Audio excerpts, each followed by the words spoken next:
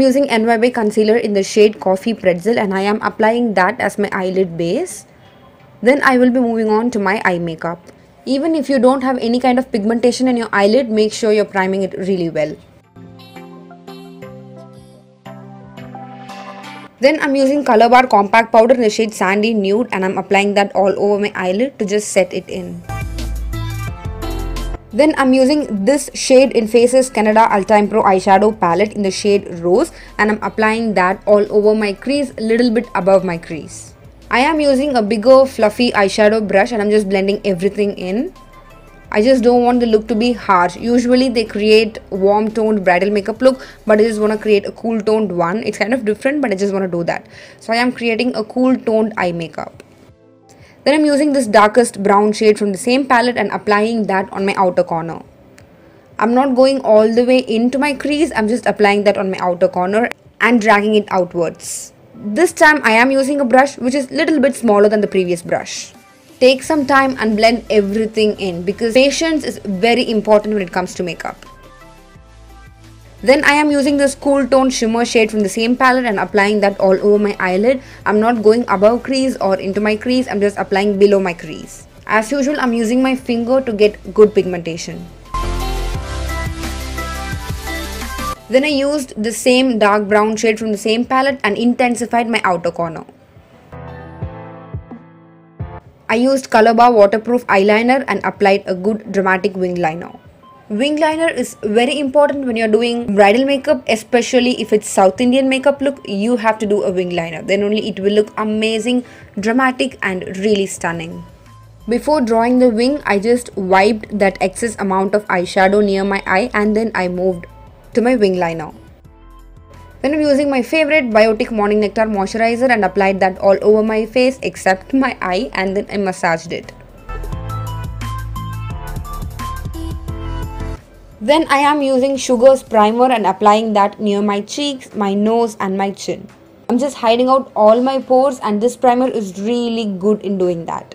Then I used the NYB concealer in the shade Orange Pretzel and I used it to hide my dark spots, my pigmentation and all those bad dark things. This concealer is not too orange so if you're duskier or darker then this will not suit you. Even for me this was looking a little bit of pinky and peachy but then I managed that with my foundation. Then I used Colorbar Mousse Foundation in the shade Lotus Fair and I dotted that one side of my face and blended it out with a sponge.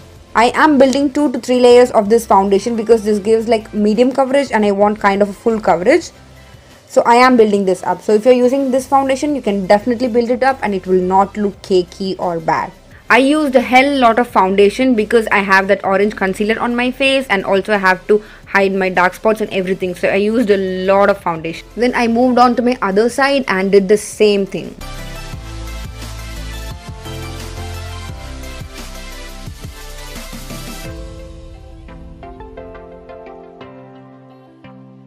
Once done with the two sides of my face, I am applying a little bit of foundation on my forehead. I'm not forgetting my neck and my ear. I'm applying my foundation on my neck and ear too. Again, I'm using NYB concealer in the shade Coffee Pretzel and I am going to conceal my under eye. I do have fine lines underneath my eyes so I'm just not applying a lot of concealers and a lot of brightening concealers and all. It's just one concealer and I'm just good with that.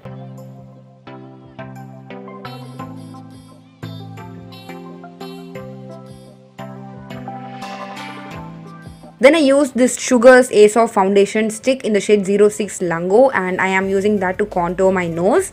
I'm not going to contour my entire face, it's just going to be my nose. I am applying a little bit in the sides of my nose and I'm just blending that in with a sponge.